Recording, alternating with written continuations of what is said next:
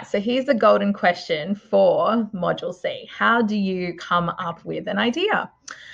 Especially given that you may need to write in three very different, well, not very different, some there are some similarities, but formats. So imaginative, persuasive, and discursive. So one of the key places I like to start when coming up with ideas is having a look at what's going on currently and seeing how you can potentially create something around that. so we're currently going through the COVID 19 crisis as I'm recording this, and there's plenty of topics and material that you could choose from. So let's just brainstorm a couple of those. Um, so we'll put, you know, current issues.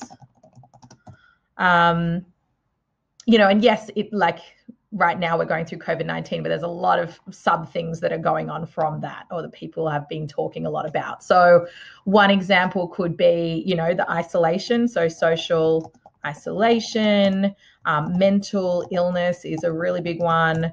Um, based on people not being able to associate with each other. Privacy, I know that's a big one, especially with the app coming out. Um, there's things like what else is there? You know, protecting protecting the weaker people in the community. And when I say weaker, I mean health, obviously. Um, what else have we got? We've got things like climate change and the way that we impact the environment humans impact the environment. So obviously the fact that the virus came from a bat and and sort of the the you know like our and and they've talked a lot about how interactions with the environment are what's introducing these foreign viruses so that's kind of the way that we um, are potentially tampering with or impacting the environment what else is there? Uh, you know, should we be going back to school? Um, people, you know, trying to work at home, work online. How is that for people? Like, there's a lot of different things. So, let's say we take, uh, for example, this one about isolation and possibly even mental illness and we have a look at the three different styles of writing. So if you were to turn that into an imaginative piece, the first thing I would suggest doing is making sure that you have a really good setting to start. So you could have a person walking down the street. Um, those of you that have done Ray Bradbury's Module C text, that's very appropriate because you've got an individual who's walking down an isolated street and then looking in people watching their tvs and so forth um, you know but at the same time what you could do to you know make that your own is that you could you know describe the lack of um, you know, like air traffic noise. It could be, you know, it's going to be silent, it's going to be deserted. But then what comes out of that, you know, so it could be really different things that you start hearing, like, um, birds and different parts of nature. You could notice different things.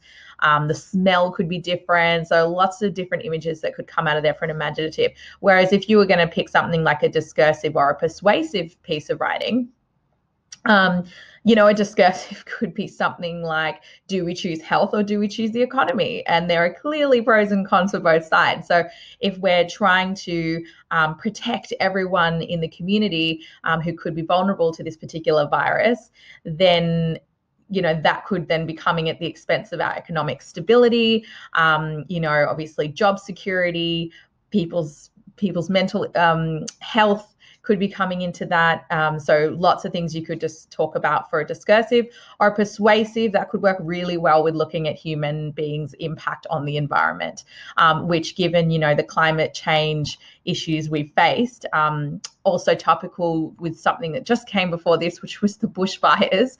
Again, some really good images you could use from the bushfires for, say, an imaginative, um, with you know um, potentially like people standing there describing the smell what does it look like? It's just decimated.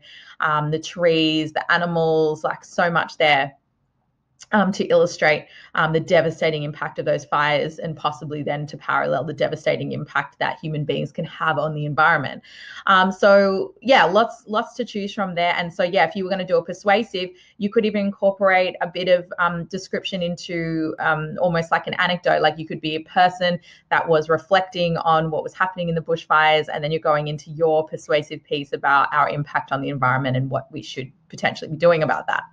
So that's sort of yeah that hopefully that gives you an idea of how to um, come up with ideas there's lots and lots of stuff so read um, read the news Uh, you know, do some research. Once you pick a particular issue, there's so many to choose from. I've had students that have um, picked looking at you know detention centers with refugees, um, people that have you know transformed aspects of their module A's and B, te- B texts, um, taken particular characters and written stories about them. So there's obviously a lot of different ways you can do this, but yeah, I think a really good place to start is look at what's topical, see what interests you, how could you fit those issues into the three different styles, and then in the next video we're going to go through how to um, incorporate that into the stimulus here, and then also how to incorporate techniques from your prescribed text.